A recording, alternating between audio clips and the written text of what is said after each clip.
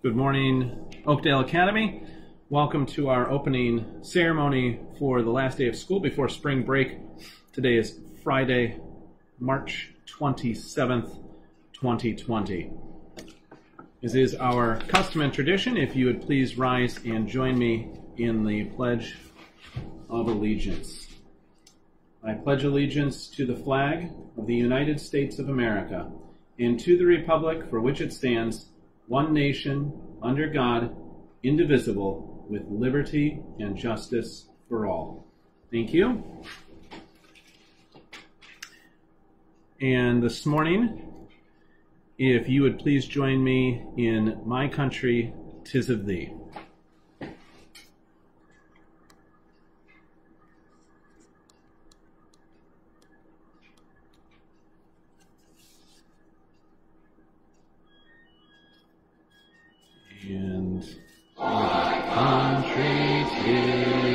Sweet land of liberty, of I where my fathers died, land of the pilgrim's pride, from every mountainside, let freedom ring. Thank you. Will you join me in our morning prayer?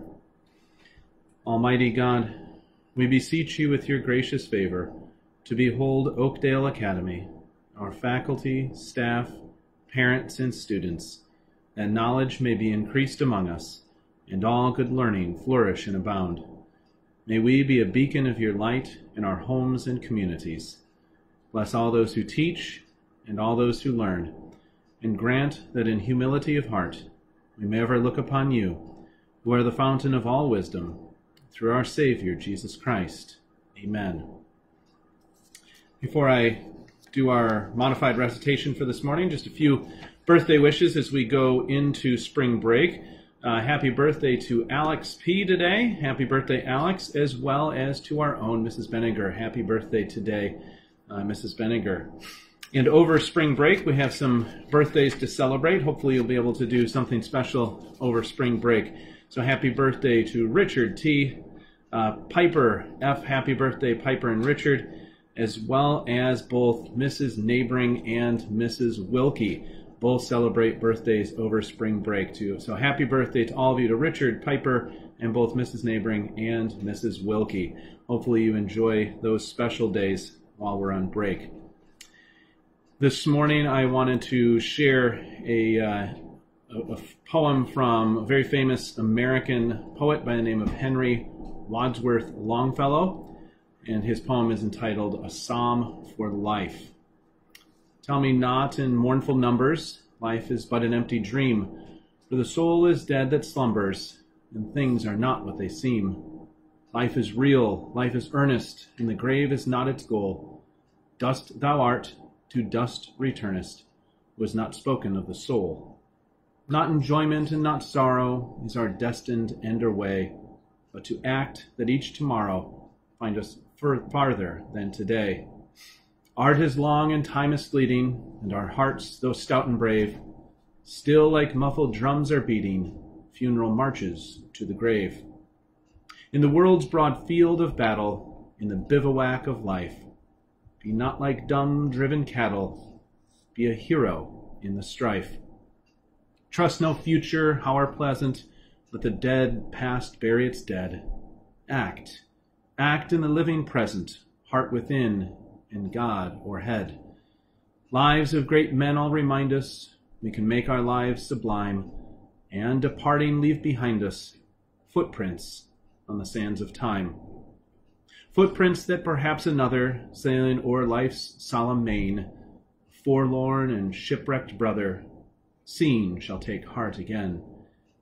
Let us then be up and doing, with a heart for any fate, still achieving, still pursuing, learn to labor and to wait.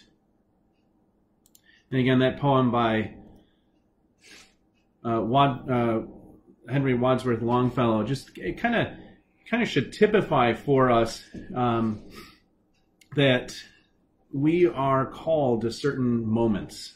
And as we prepare to be even further away from each other over spring break, um, let's just remember that, that we are called to certain moments. And I, and I really continue to remind us that, that this is one of those times. This is one of those seasons in the history of our world where we who are believers in Christ, we who know the truth, are called to act in a way that would show this world the love of Christ as we go through.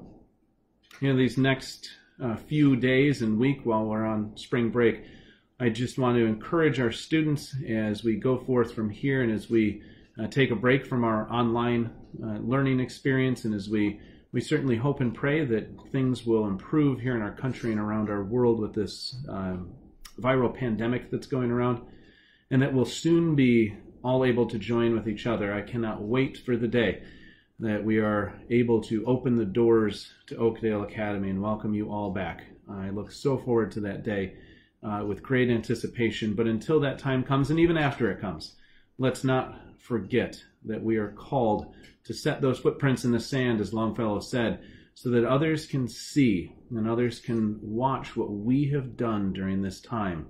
This is the great test of our time for us as believers to show that love of Christ as I've talked about. So let's remember that as we go through.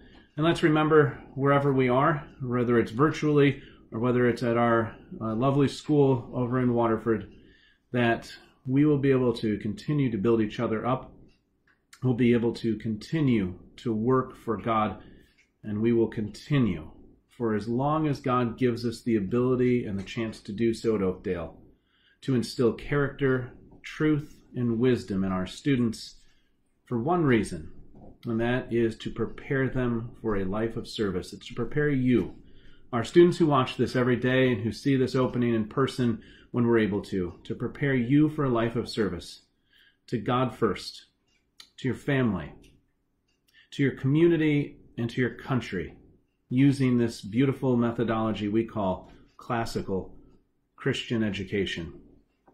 And I just want to encourage you as you go through spring break to take some time off, take some rest, but also be a light in your communities as we go through. I look forward to seeing some of our lower school students during a reading time later on this morning um, and cannot wait to the day that we can all be together. Until then, I will see you a week from Monday uh, back here on opening ceremony. Enjoy your spring break, enjoy each other, and I look forward again with anticipation of the time where we can say it all at the same time because I truly think that this phrase is meaning more and more, certainly to me and hopefully to all of you, that we will be able to show Christ's love together. For together, we are classical, we are Christian, and we are Oakdale. Let's go out and do that over spring break. Enjoy that time off, enjoy the time with your families, and I'll see you a week from Monday at opening ceremony. And you're dismissed to your virtual classes for the day.